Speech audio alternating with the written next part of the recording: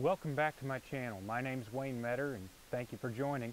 Now if you're just now joining us in the series, the last video was talking about planning a cold frame uh, and, and thinking about how to build a cold frame, what you want to grow with your cold frame and where you want to put your cold frame. Today we're going to be talking about how to build the cold frame that's right here behind me out of these materials. Stay tuned. So as you know from watching my channel, you know that I always preach using the materials and the resources that you have laying around. And uh, Jerry happened to have some of these storm windows laying around. So the, the main construction of these cold frames was designed on uh, one, A, being the fact that these were the size that they are. Uh, B, we had these uh, ladder rails from Werner. Now these are the, the fiberglass ladder rails that they make those Werner ladders out of, the step ladders. And um, we had to use these because that was kind of the criteria. We needed to use the material we had. We weren't going to go buy anymore. However, they are relatively the same size as a 2x4, so you can build this whole cold frame construction almost identical to the way I've built it using 2x4s or uh, any other material that's similar in shape. And then C, we wanted a design that would allow us to grow plants to get to be a fairly large size so that we could then pull the cold frame off the top in the springtime and we've already got nice rooted plants ready to go. Um, more than likely even harvesting currently in the harvesting status. So uh, we wanted it to be tall and we had these uh, ladder rails laying around. This is the size that we picked them up off of Craigslist and they already had the angle cut on the side. Now the angle here on the end of the ladder rail, because this is how the ladders are made to set uh, from the factory, these the, the angle on this ladder rail ends up being the angle that we uh, uh, mounted the window at at the top of the cold frame. Now when I was trying to figure out how we, gonna, we were going to block this thing up and, and prop the, the lid up, uh, I just didn't know. I, I, didn't know how we were going to do it. So I, I, came up with this. I found some bolts laying around and um, I wanted it to be something that would be quick and easy, that would be self-contained within the, the unit itself and uh, so we had enough bolts laying around for these three um, to use these parts and I'm simply going to mount this uh, inside the frame right here by drilling this hole through. Now this is a simple and a stable solution for us that gives us everything we need and all we have to do is pull this out and, and hinge it down and put it away and it hangs inside the rail there. So it's a great alternative for having to use a lot of hardware or something that you buy at the store.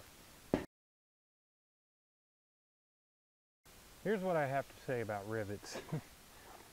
There's definitely a difference in quality.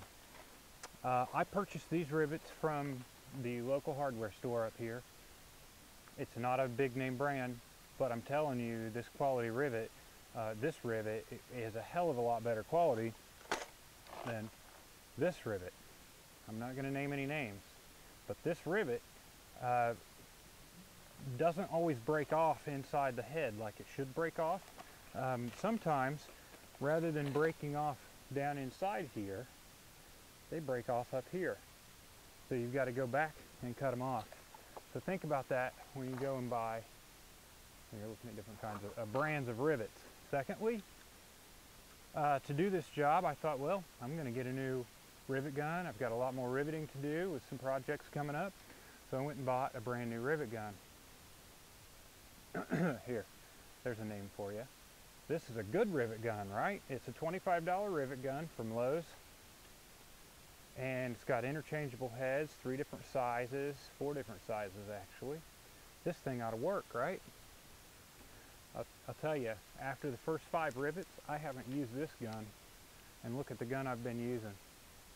And this thing works better than the brand new gun that I just got from Lowe's. So I'm telling you, it's not always best to go out and get new equipment, even if you're buying the highest value piece of equipment that you can find in the big box store. Start to look outside of the box store and think about where you're going to find some of your tools. Many times you're going to find good quality, valuable tools, even though this says made in Taiwan. Uh, it's still a good tool that's lasted for several years and clearly it's still holding up. Now, different sizes of rivets. I chose to go with the 3 16 rivet uh, shank off the side and this one here will adjust from the 1 quarter to the 1 8 height meaning that it works really well um, when I'm either trying to bind two pieces of fiberglass together or a piece of fiberglass and a piece of, of metal tin, which is a little thinner than the fiberglass. So this is a great rivet to go with. Now where I've got multiple pieces of fiberglass, then this half inch um, shank works great. The problem with this half inch shank, I don't know if you can see it, it's the brand. One more thing I want to share with you when we're talking about the value of using rivets. Um, they're great because they're forgiving. It's just simple to use the same drill bit that you drilled the hole for the rivet in the first place. Uh, use that drill bit, drill off the head of the, the rivet, drill it out, and uh, either put a new rivet in its place or if you're needing to move the uh, rivet to a new location, it's very easy to do that and it's forgiving and very uh, low damage to the material that you're using. Now the next step in this process is simply to build the back of the cold frame.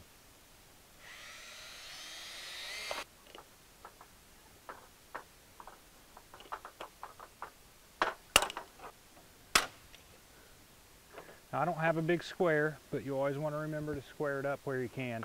And I'm getting this fairly accurate for what this is. Um, I mean, this is spot on. So now that I've got this squared up, I'm ready to put the back sheet of metal on this. Now that we have the back of the cold frame built, all we have to do is repeat that process on the front and instead of putting metal on there, we're going to put some of that plastic or that translucent material simply uh, something that I've chose to do to get a little bit more light in the cold frame and I may change my mind once we get into the season and find out uh, maybe that's not what we want. So this is going to be an experiment we can all share together. So now that we have the back and the front done, this is where it can get a little bit tricky. We have to put the sides together or at least connect the two front and the back. And if you're working by myself or by yourself like I am right now, um, clamps come in handy or an extra set of hands and having somebody there with you is definitely the way to go. But uh, in this case, uh, I have, you can, you can take a, uh, a two by four and, and utilize, uh, if you're building this out of two by fours rather than fiberglass, you can certainly use them and clamp them in this place and screw them together. And, uh, but in our case, we're using fiberglass. So I'm going to go ahead and get our holes drilled and affix the ends of this together. Now that we have the main frame of the box put together, uh, I have this corner left off. This is one of the other boxes I was working on, but this corner is left off so you can see kind of what we're working with for structure. Uh, but we got to put a, an end cap on this in some way. And I've cut out a piece of metal, and generally what I was using uh, to cut metal was these tin snips right here. And uh, they're an old set of tin snips, so they don't necessarily cut metal well. And I was able to cut across this way, but not down the line. So to cut down the uh, lengthwise on this metal, I was just using a four inch angle grinder and cutting it out. But you know, another nice thing about having one of these angle grinders, you don't have to do this. And it all depends on the material you're using. But in this case, I was able to clean up these edges get rid of all the sharp corners and make it so that uh, nobody gets cut when they're using the uh, cold frame. Now, to, to hold this in, I've just cut a couple of small pieces, and again, you can imagine 2x4s being in, these, in this position, but I've couple, cut a couple of pieces that will, will get affixed here, and then the metal will go right on the end. So we'll get that done. So before now, we've finished, we've got the lid completed, we've built the frame, we've got the, the whole front of this finished off, and I, I've, again, I've left this off just so you can see what we're working with, but uh, it's time to put the lid on. And uh, we've already got that, that brace built into the lid. We're gonna set the lid on, and the last thing we have to do is put hinges on the back side and a handle right here on the front.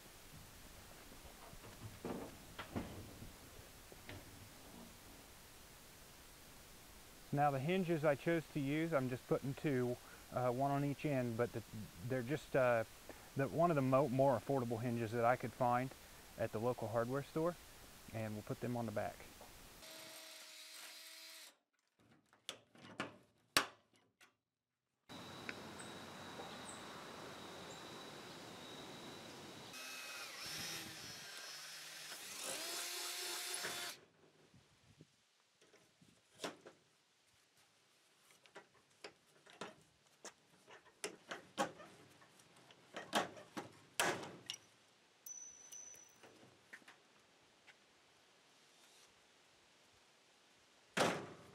So that is how you build cold frames. I know it was a long video, a little bit longer than normal, but I wanted to make sure and give you everything that you need.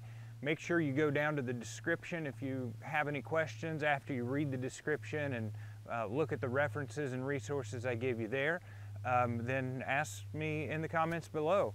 Now, I do have one question for you though. How would you have made these cold frames better or how would you have engineered them differently? And uh, if you would have engineered something differently, please let me know what you would have done. I might just make some modifications myself. Thank you so much for watching. Thank you so much for the support and for being here. Up next, we're going to be talking about how to plant cold frames and uh, how to care for them or the beginning stages of caring for them. Stay tuned.